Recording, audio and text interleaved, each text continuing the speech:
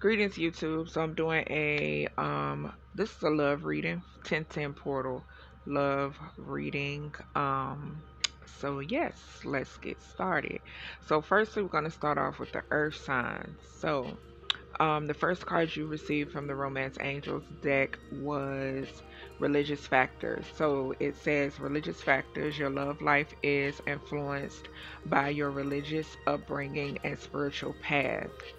Next, we have worth waiting for.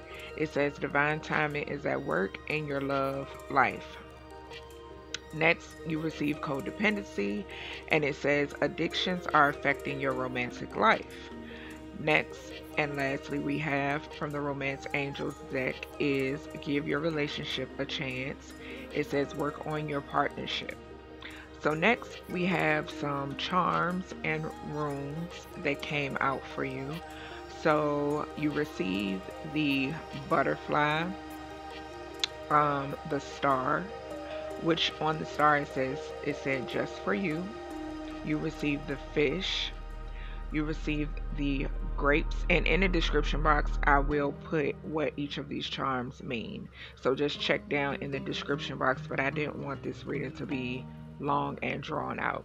So I will have it down below in the description. Um, next, you received um, on the dice, you received the number two and you received five, which came out to be eight. And eight symbolizes abundance, prosperity, and financial well being. And then with the runes, you receive the fertility rune, um, which is Ingles or Ingwaz and um, this represents true love, music, and harmony. Um, next, we have your description cards. So the description oracle is basically um, oracle cards that have like all types of descriptions on it that I created. Um, basically, like describing people, clothing, all types of stuff like that. So, um, and letters and uh, uh, birth signs and all of that. So, um, the first letter you rece- received was the letter Z, Z as in zoo.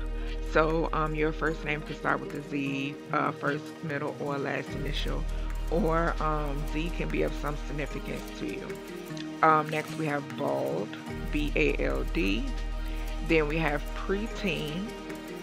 After preteen, uh, you receive fire sign, or you um uh, either this preteen or you could have um, fire somewhere in your chart or this preteen could be a fire sign or you can be a cross watcher who's a fire sign. Um, then we have coarse hair. So either um, you or this preteen can have coarse hair. Then um, short and height came out. Um, big ears came out. The letter c came out. Full lips came out as well. Definitely take what resonates, what doesn't. Don't feel obligated to make it fit. So now we have like um some my rainbow uh words cards. And then we have like some other cards that I had just created the other day as well. So from the rainbow word cards, you receive painting, um, then you receive gang stalking or stalker. you receive full moon, Archangel Metatron. You receive the angel number um, 333, and I will put that down below in the description. Um, or you could look up angel number 333. Um, we re- you received walk away. Uh, you receive Thief. Then you receive um, the five daily reminders, which says, I am amazing. I can do anything. Positivity is a choice. I celebrate my individuality. I am prepared to succeed. Then you receive Atlantis. So um, Atlantis can have some significance or mean something to you. Um, then we have No More Drama we have karma. Then um, you have always remember that you are absolutely unique, just like everyone else. Then you have the rune that um, talks about fertility, healing, and regeneration.